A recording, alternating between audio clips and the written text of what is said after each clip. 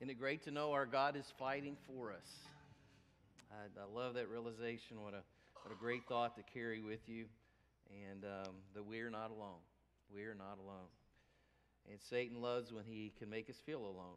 And um, that's just, uh, we're setting ourselves up uh, for his work uh, when we start thinking that way. We are not alone. Good morning. Good to be with you today and uh, share with you in worship. And we're continuing our series of, of bearing fruit as we focus on the fruit of the Spirit and walking in the Spirit and uh, letting the fruit of the Spirit uh, become a consistent part of our lives uh, each and every day. Uh, this morning, uh, if you brought your Bibles, it's great. And you can open those to the passages that will appear. And this morning, if you're using the, the YouVersion app, uh, you can um, open that up and follow along. All the scriptures are printed there for you, uh, all the points in the message, and um, spaces for you as well if you want to add some notes to that. There is some instructions of getting into the YouVersion app at the very bottom of the back page. So I uh, just want to let you uh, be aware of that this morning. And to welcome each of you here this morning, and to welcome those joining us on Facebook Live this morning. And we're so glad that you're here uh, sharing worship with us as well, at least watching us in worship. And uh, we're so glad that you're a part of this today. Uh, we're looking at joy today, and in reading the Bible, there is, um, there is a lot of joy and rejoicing that are very central to the people of God that we find throughout the Bible. Uh, in the Old Testament, the Jewish Encyclopedia, Kaufmann Kohler states that no language has as many words for joy and rejoicing as the Hebrew language. In the Old Testament, there are 27 different words that are used for some aspect of joy or joyful participation in worship to God. And Jewish worship was essentially a joyous proclamation and celebration and a Jew saw the act of thanking God as the supreme joy in his or her life. Pure joy is joy in God as both its source and its object. The psalmist wrote in Psalm 16:11, "You have made known to me the path of life. You will fill me with joy in your presence, with eternal pleasures at your right hand." You will fill me with joy in your presence. The Old Testament, it's very central moving through that. But also, we find in the New Testament, it also stresses joy. In 1 Thessalonians, we're commanded to be joyful always. Romans 12 says that we should be joyful in hope. And in Philippians 4, we're told to rejoice in the Lord always. I will say it again rejoice. You know, sometimes I read that and I, I wonder why did, why did Paul repeat himself there? You know, uh, why did he feel it necessary to say more than just rejoice in the Lord always and then tack on the end, I will say it again, rejoice. And normally when we repeat things in multiple times, it's because we want that message to be seen in a great importance. You know, those times when you tell your kids something twice because you know it's important and you want them to know it's important, or your grandkids or the kids you're working with back in kids worship or wherever you happen to be with kids but you know it's just some of those things we just say we say in multiple times and and paul was wanting us to realize that joy is very important to god and it needs to be important to those of us who want to become like Jesus. Our mission is to become like Jesus. And so joy needs to be a very important part of who we are as a people. The Bible says that God wants us to experience joy. And joy is often defined as a, a deep and, and, and constant sense of well being, a deep and constant sense of well being that undergirds all of life. We read in Galatians chapter 5 and verses 22 and 23 But the fruit of the Spirit is love, joy, peace, patience, kindness, goodness, faithfulness, gentleness, and self control. Against such things there is no law at the very end of that is, is Paul is writing these words under the inspiration of the Holy Spirit. He's just simply saying all of these great things, no one would want to end them with any kind of a law. they are just welcome in every circle of life that we are in. And so, against such things, there is no law. But reading that passage and knowing that joy is a fruit of the Spirit, do you still find yourself saying things like, you know, if I'm a Christian and the fruit of God's Spirit living in me is joy, why don't I feel more joyful? Why does my attitude hit rock bottom so often? What is joy all about anyway? And where can I get some? Well, today, God's Word does provide some answers to those questions. But I think a lot of times when we read Bible passages about joy, we get a little confused because it just doesn't match up with what we expect to read. For instance, in James 1 2 through 4, James wrote, Dear brothers and sisters, when troubles of any kind come your way, consider it an opportunity for great joy. For you know that when your faith is tested, your endurance has a chance to grow. So let it grow. For when your endurance is fully developed, you will be perfect and complete, needing nothing. The Apostle Paul wrote later in 2 Corinthians 7 4, he said, In all our troubles, my joy knows no bounds. You know, both of those statements are not what the average person expects to see as a formula for joy. You know, James says that we should actually rejoice when we are going through trials because trials make us strong. And Paul says that despite his numerous problems, and Paul had a lot of difficulties, certainly after he became a follower of Christ and sought to live for Christ, but he lists several times in some of his letters just some of the hardships that he went through because of his faith.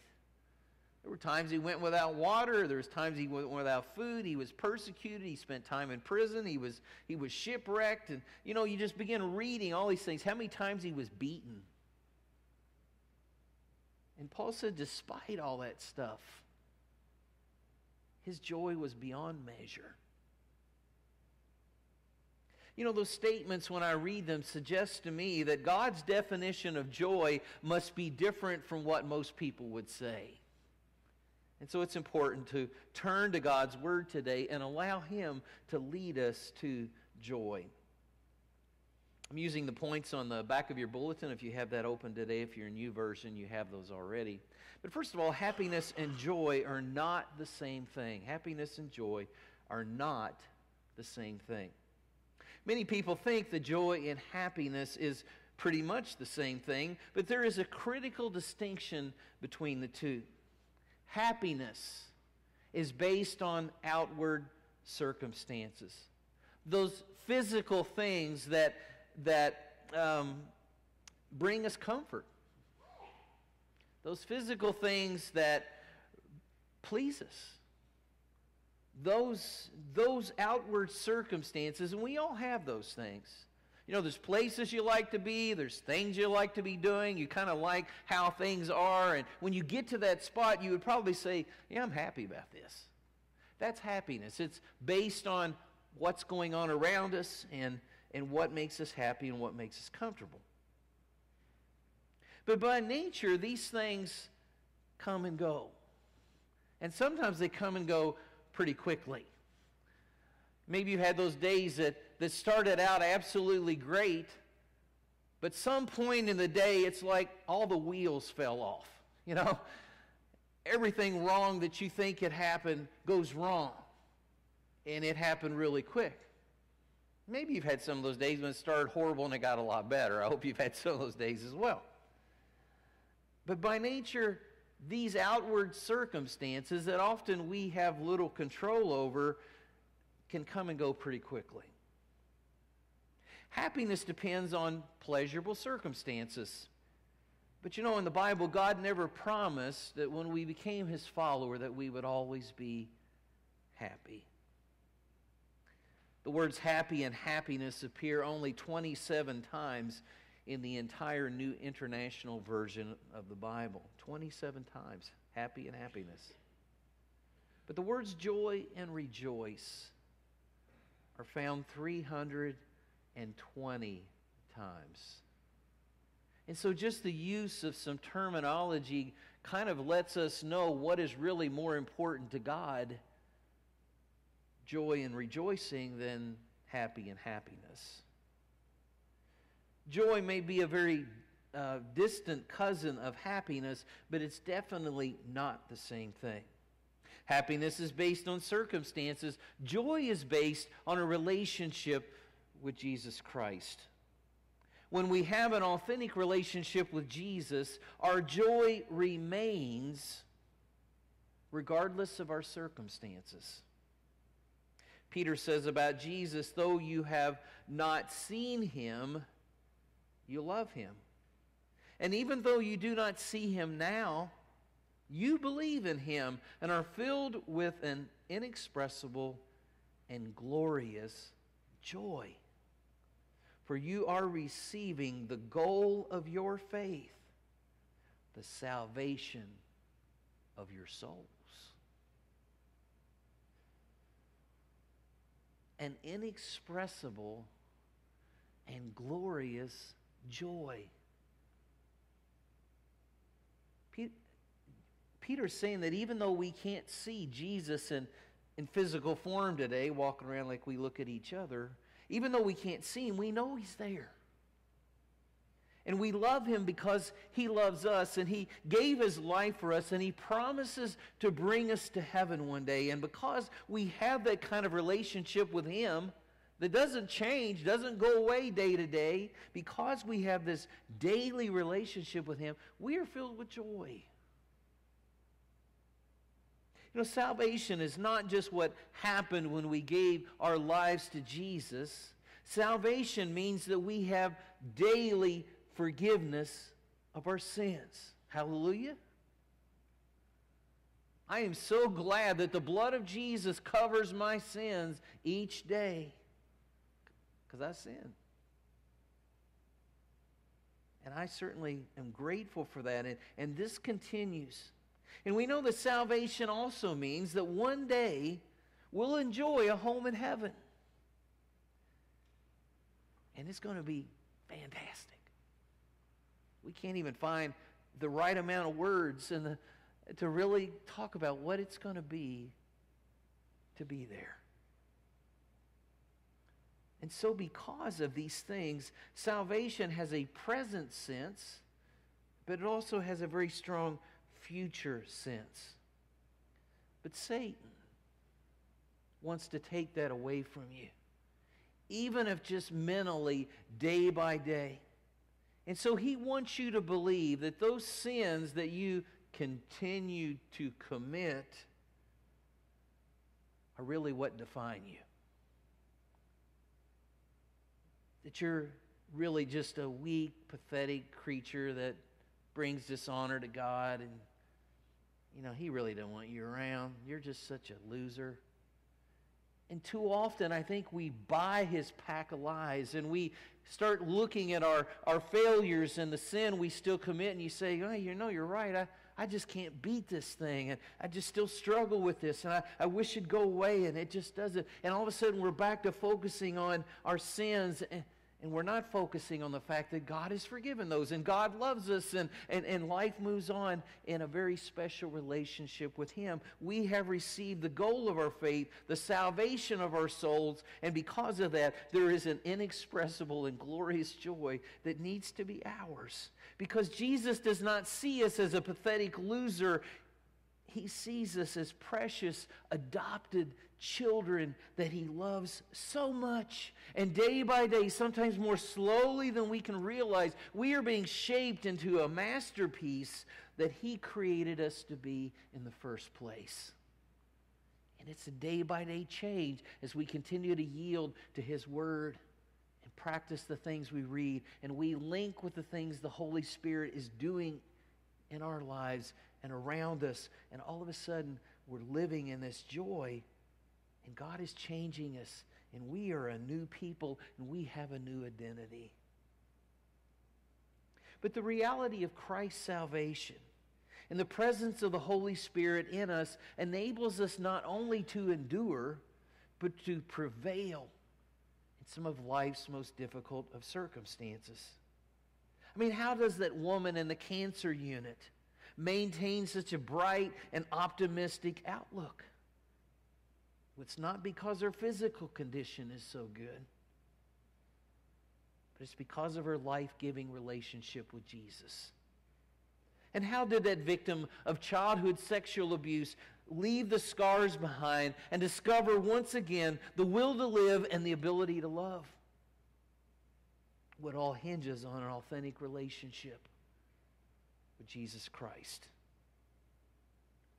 Unfortunately, many of us still struggle with joy, even though we are in a far better circumstance than those two situations that I just mentioned. And we want to talk about that for a few minutes.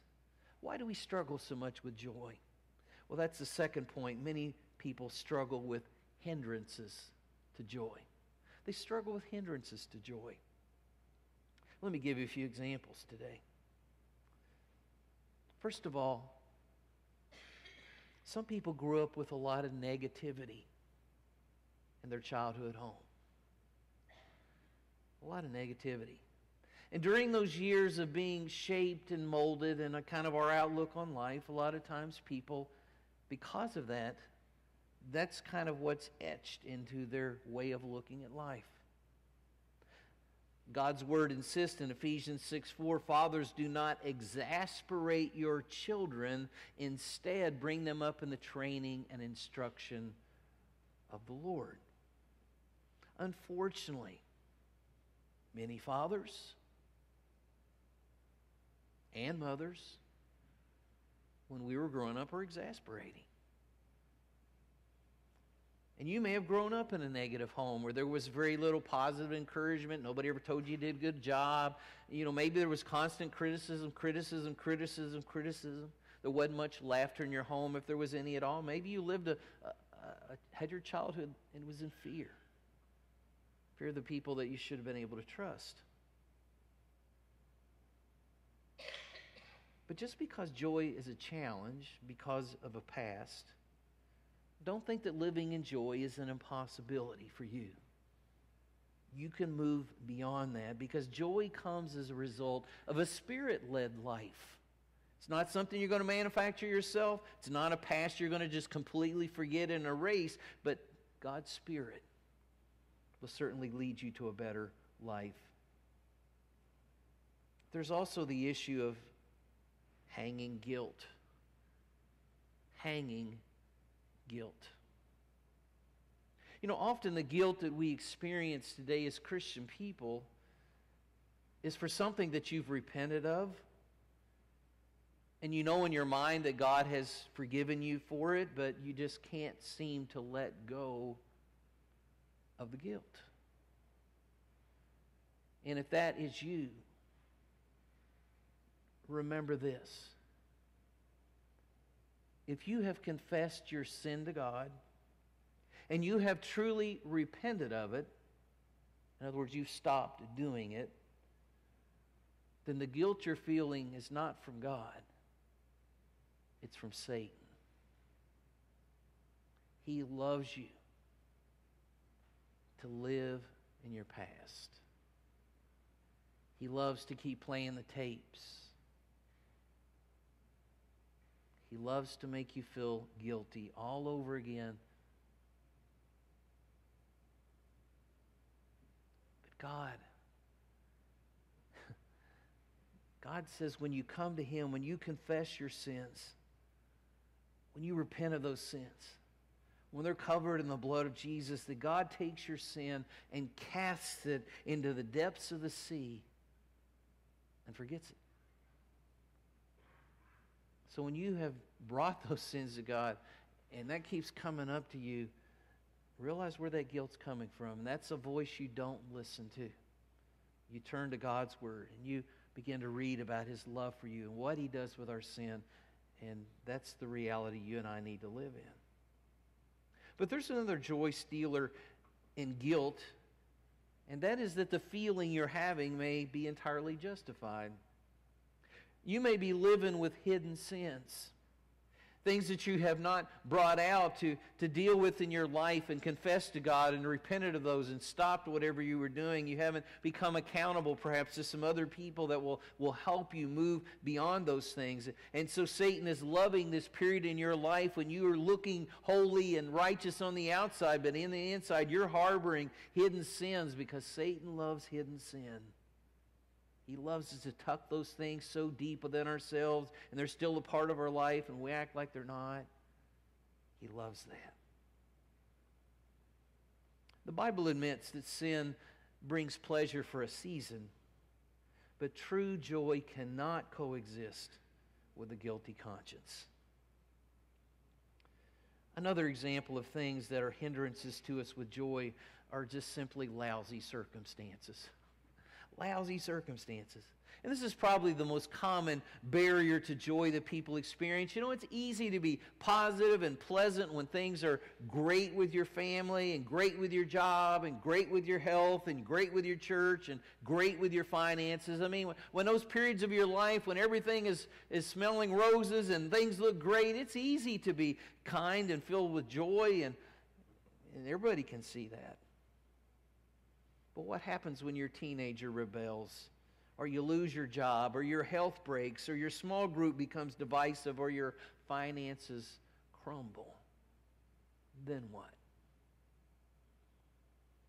I love the words in Habakkuk 3, beginning in verse 17. He wrote, Even though the fig trees have no blossoms, and there, are no grapes on the vines, even though the olive crop fails, and the fields lie empty and barren, even though the flocks die in the fields and the cattle barns are empty. Yet I will rejoice in the Lord. I will be joyful in the God of my salvation. The sovereign Lord is my strength. He makes me as sure footed as a deer, able to tread the heights. Habakkuk is basically saying if everything goes wrong, if everywhere I look, I don't like what's happening, I will still rejoice in the Lord. The sovereign Lord is my strength. He is my source of joy, regardless of the circumstances. And a lot of times, in the midst of tough circumstances, we need to look in his face. We need to look to him and be reminded that we are loved. That he is living in us in his spirit because he wants to be in a relationship with us. That he has forgiven our sin that we have received the salvation of our souls, a forgiveness that continues day after day because we are so deeply loved because of the blood of Jesus. And one day, there's going to be a home in heaven. He is our source of joy. Thirdly, on your outline, we serve a joyful God. We serve a joyful God. Do you realize that we serve a joyful God? I think a lot of people think of his holiness and his power and his wisdom and his love. But if you were sitting and ask a group of people words to describe God, I doubt very few people would say he's joyful. Because it's just not always our focus. Zephaniah chapter 3, verse 17 said these words The Lord your God is with you, He is mighty to save. He will take great delight in you. He will quiet you with His love. He will rejoice over you with singing. You ever think of God singing? Thought probably never crossed your brain, did mine to this week. But this verse talks about God rejoicing over you with singing. That not only does God sing, but God sings because you bring him joy. Have you ever really thought about that? You know, God's not up there beating you up like you beat up yourself. God's up there looking at you as his prized children, his adopted children, his loved children that he is working for our good, even in the midst of some very difficult circumstances. And he is so, so excited and so joyful over us that he's singing. What a picture. But you know, Jesus modeled a joyful life as well. He was certainly serious at times and needed to be, and he was never flippant about important things. But Jesus always radiated joy. He just seemed to take so much in stride and, and had a perspective about life that probably seems so elusive to most of us. His contagious personality attracted other people. You figure his first miracle came at a wedding feast, a party. And in sermons and teaching, he told jokes, he used humor. Maybe not the type of humor we use today. But people laughed when Jesus taught, preached. And then you think about the night before he died. His enemies were closing in. Judas had already sold him out. And when he came into the Last Supper, his disciples were arguing about who was the most important of their group. And he was about to be condemned and murdered for the sins of the whole world. Boy, what a downer. But you know, even then, even then, Jesus talked to his disciples about joy. Look in John 15, beginning in verse 9. Jesus said, As the Father has loved me, so have I loved you.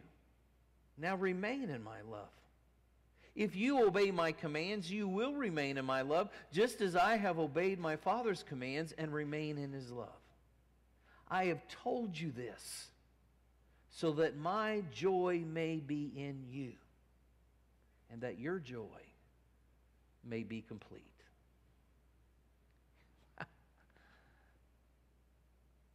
Does that seem like the thing he'd be talking about at the time like that? Well, it is when you know who Jesus is. Because joy was not an up and down thing with him, it was a constant. It's part of his nature, it's character traits that are there in Jesus, and he wants us to have as well. But you know, not only do we see joy in God the Father and God the Son, the Holy Spirit transfers that joy to us. The fruit of the Spirit, the product of God's Spirit within us, is joy. When we come to Christ, we're given the Holy Spirit, and we know that in that gift is joy and love and all of these other things that we read about in, in the Scriptures. The Apostle Paul told the church in Thessalonica, You became imitators of us and of the Lord. In spite of severe suffering, you welcomed the message with the joy given by the Holy Spirit. Where did that joy come from? The Spirit of God. Because of a relationship with Jesus Christ. Dr. Leroy Lawson wrote a book called God's Way to a More Perfect You. And in this book, he wrote about Mrs. Miller, who had a mastectomy due to cancer. And Miss Miller was a very vibrant Christian woman, and she was lying on a gurney in a hospital hallway waiting to be treated, and she heard nearby a woman who was, who was crying. And she was concerned about this particular woman, and she asked her simply, What's wrong? And the woman spat back, What do you mean, what's wrong? Look where I am. I've got cancer. And Miss Miller said, So do I. And the woman says, Yes, but I had surgery for the removal of a breast, and now I've got lumps on the other side. Miss Miller said, So have I. And the woman said, But that's not all. These treatments make me violently ill. Miss Miller said, I know. Me too. The woman said, Besides all that, I'm in my 50s and I think I'm going to die. And Miss Miller said, I think I'm going to die too. And the other woman says, Well, how can you lie there so expletive peaceful? Miss Miller said, Have you tried praying? And the woman said, Of course I've prayed. I've gone to every church in the area. I've prayed everything from Christian scientists to Buddhists to Baptists, and you know what? None of them worked. Miss Miller said, I know why. The woman said, You do? Why?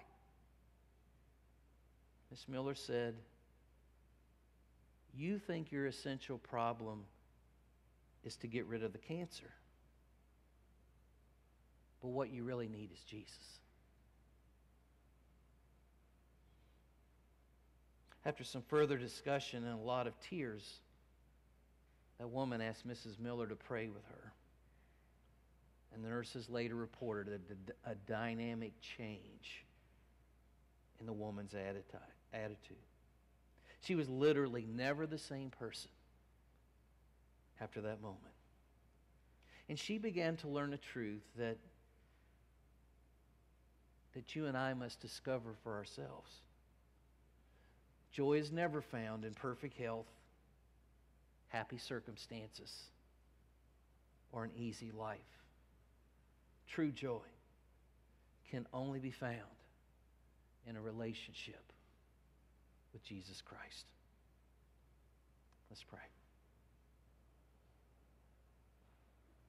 Father, we are grateful to be reminded today that this fruit of the Spirit is not something we just need to will ourselves, work harder, force these things into our lives because that's what we're supposed to be.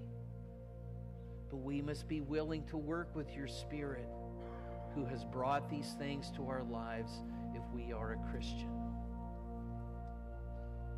But Father, I'm afraid too often we have listened to Satan's lies we have minimized the work of the Holy Spirit. And we're not working with Him. We're just hoping He'll work with us. And dear Father, we have not fully surrendered to a sovereign God and to a Savior and Lord and to walk with the Spirit. And so, Father, I pray that today we might use this opportunity evaluate our relationship with you and commit or recommit ourselves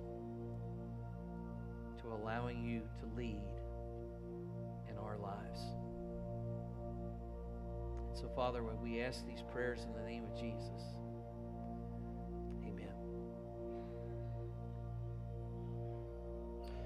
Today, if you are struggling with joy, my first question to you would be Have you fully surrendered your life to Jesus Christ? Because joy comes when you make Jesus Christ first in your life.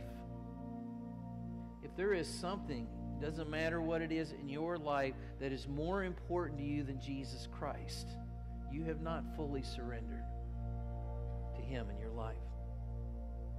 It was Jesus who said in John 15, 5, I am the vine, you are the branches. If a man remains in me and I in him, he will bear much fruit. Apart from me, you can do nothing. I think too often we have worked simply to look good and to sound good. We've surrendered some things to Jesus, but we've not given him everything. He doesn't have first place. He's somewhere two or three or four down the line. And we don't have the life that God has called us to. And so I think it's really important for you and for me that we take time today to say, Is Jesus Christ Lord of my life, of my fully surrender to Him? Is He first above all things in my life?